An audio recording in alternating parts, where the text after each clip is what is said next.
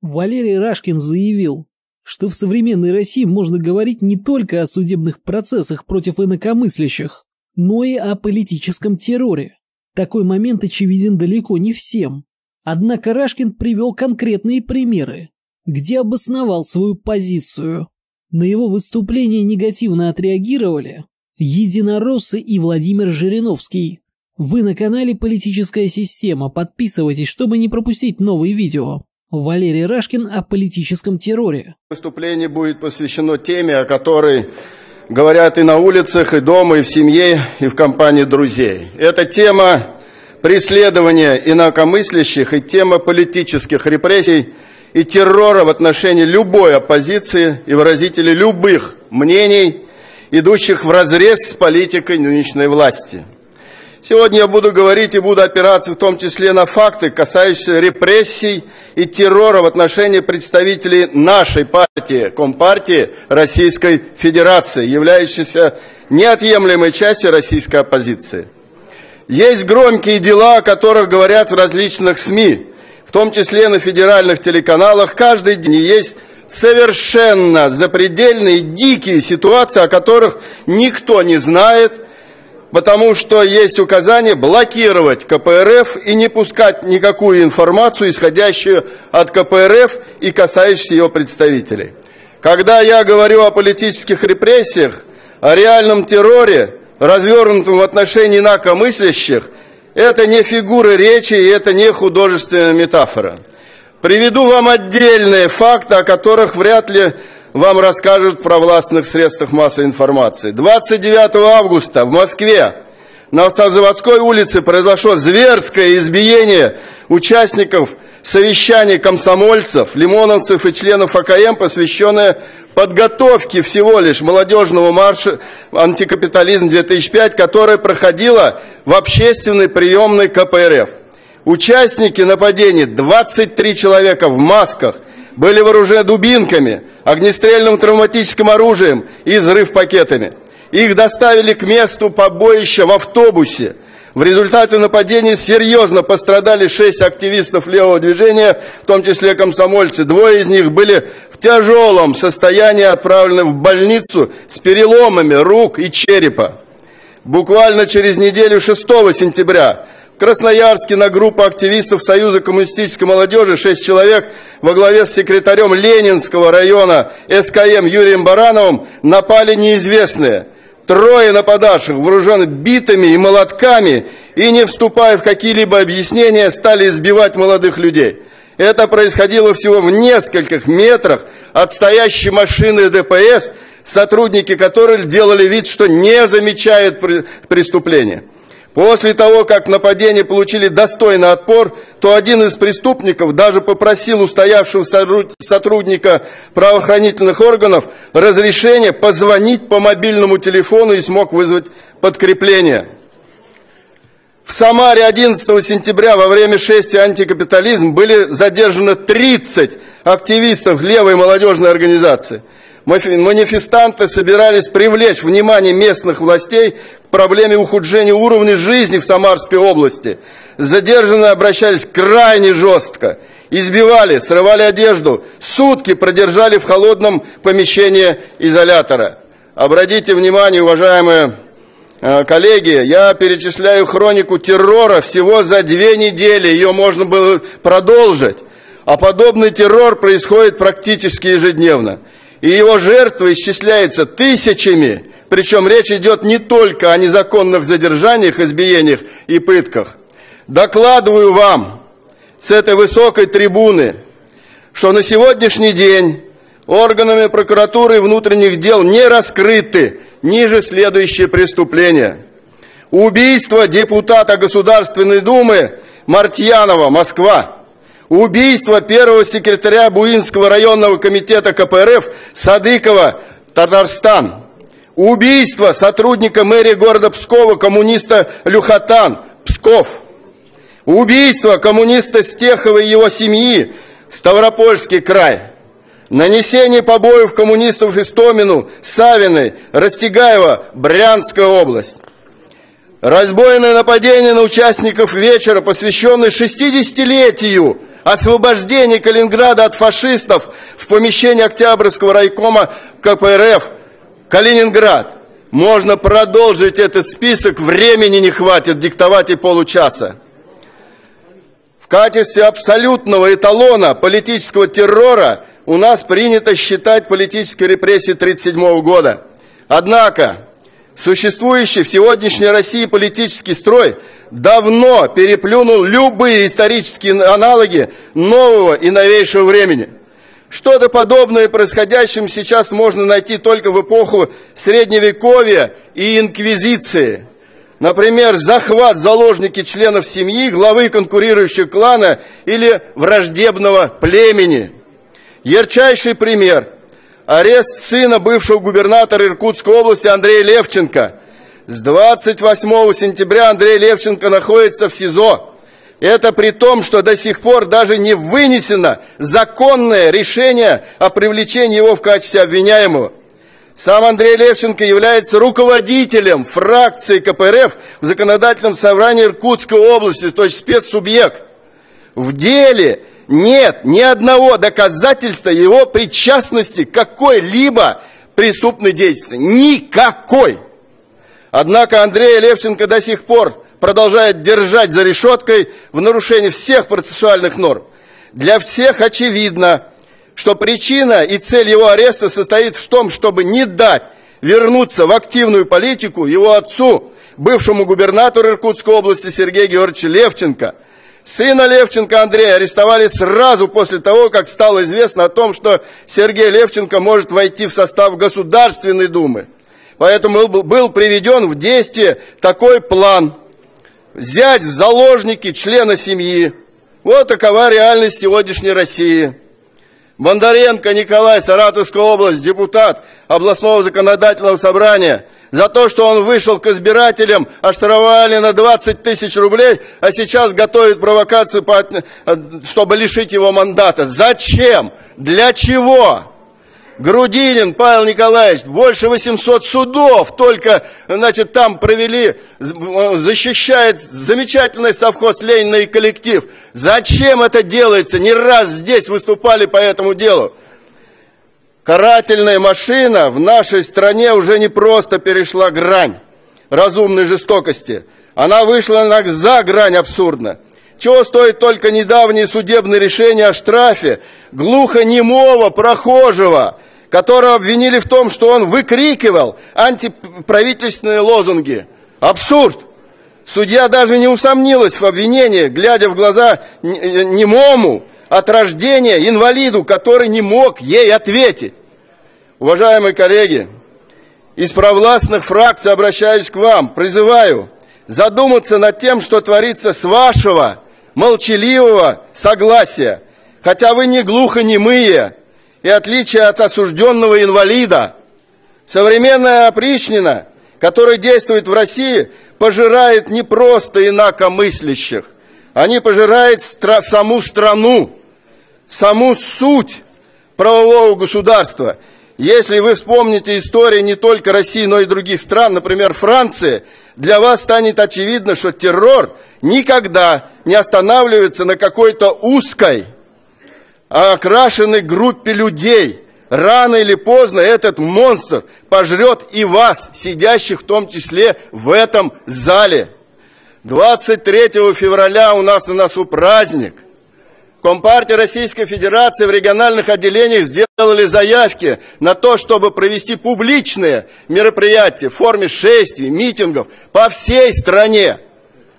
Практически везде исполнительная власть а в общем-то это в основном представители Единой России отказывают в проведении этих публичных массовых мероприятий. Зачем это делать?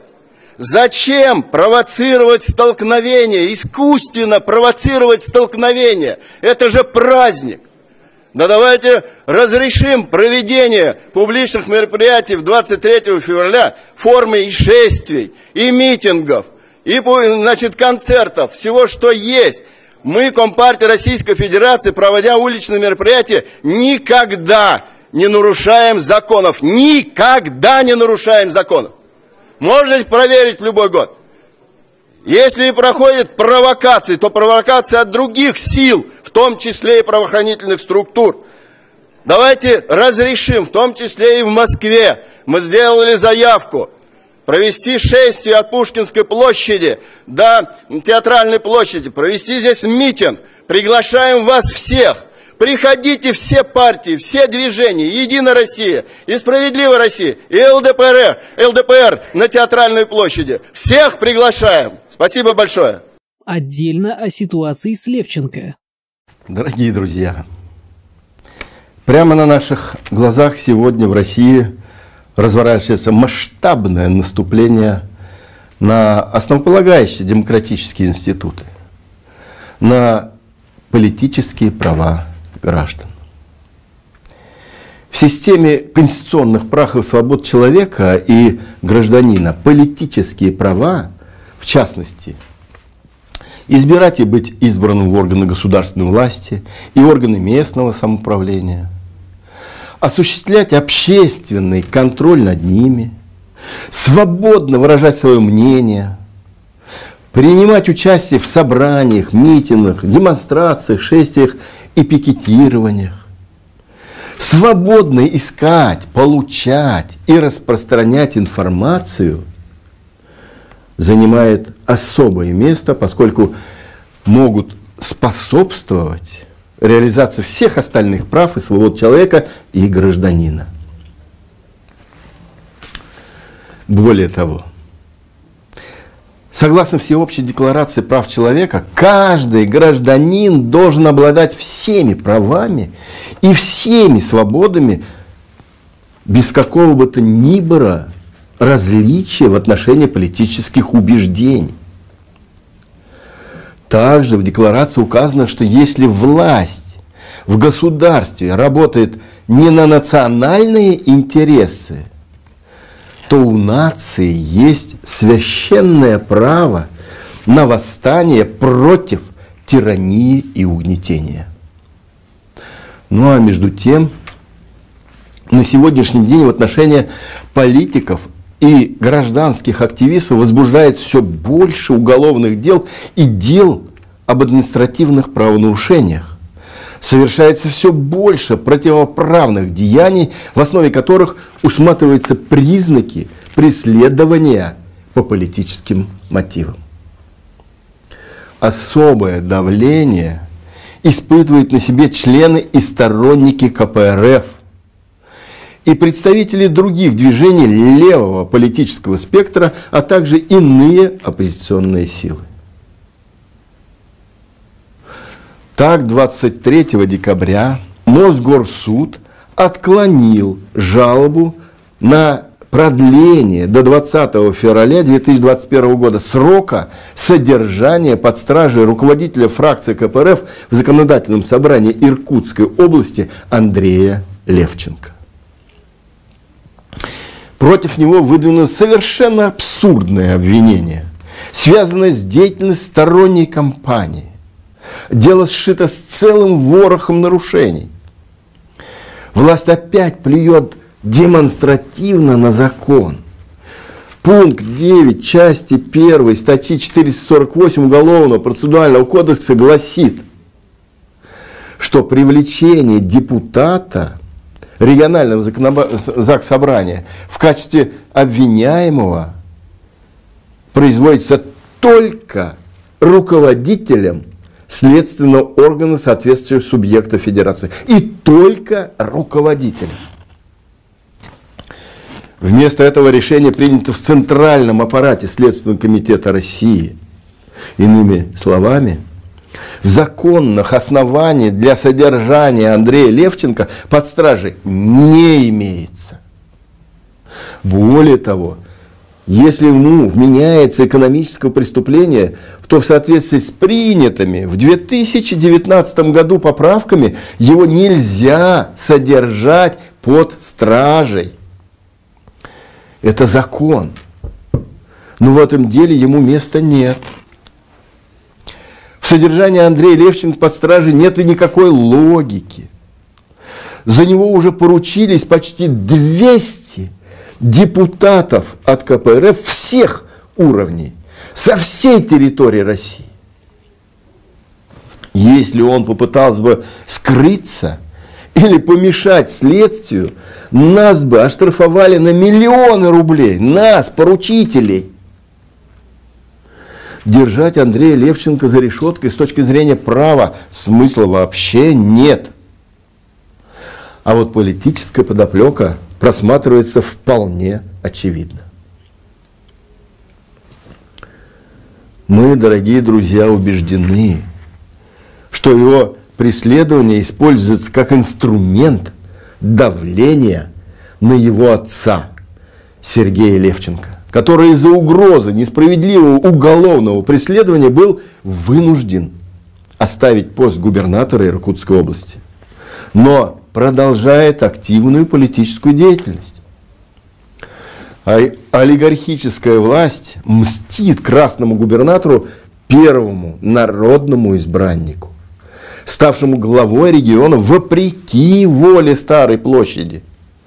После более чем десятилетнего периода одобрямс назначение из Москвы. Неудивительно, что власть всеми правдами и все больше неправдами пытается выдавить возмутителей ее спокойствия из политики.